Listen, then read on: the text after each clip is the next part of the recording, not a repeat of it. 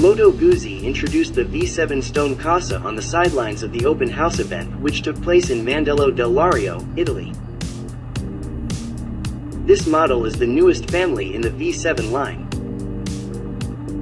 It's just that he is equipped with several accessories to show off his sporty impression. Its shape is inspired by the history of endurance racing. In line with the company's vision, it will again present the Fast Endurance Trophy in early 2023. The most prominent profile of the Moto Guzzi V7 Stone Corsa can be seen from the color finishing on the body. Using an elegant combination of silver and red and black to fill the engine and legs. To emphasize the sporty aspect, the manufacturer installed a headlight cover, complete with clear glass which is commonly used on cafe racer type motorbikes. However, the headlamp remains round.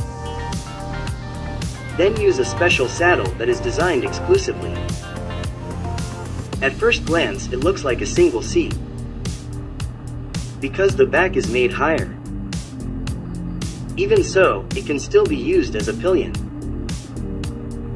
The manufacturer offers a pillion seat cover in matching color as an option. Aimed at those who want a more prominent monoposto aesthetic. Several detailed accessories reflect a retro-modern iron horse, such as the black anodized aluminum fuel cap, special edition badge on the riser bar, and black bar end mirrors which add to its classic appeal. Plus the iconic eagle symbol is placed right in the middle of the round headlights. The engine is still the same as the other Moto Guzzi V7 families. Packs an 853cc V-twin engine, 6-speed transmission with shaft drive and meets Euro 5 emission standards.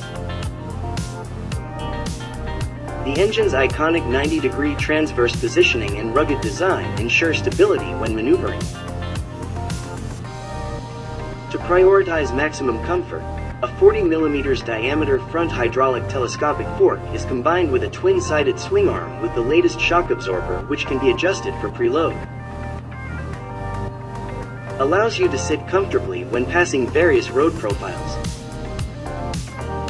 The braking system consists of stainless steel discs with four piston Brembo calipers at the front and two pistons at the rear. The rims are made of light aluminum alloy, 18 inches at the front and 17 inches at the rear. Meanwhile, the dry weight is 198 kilogram.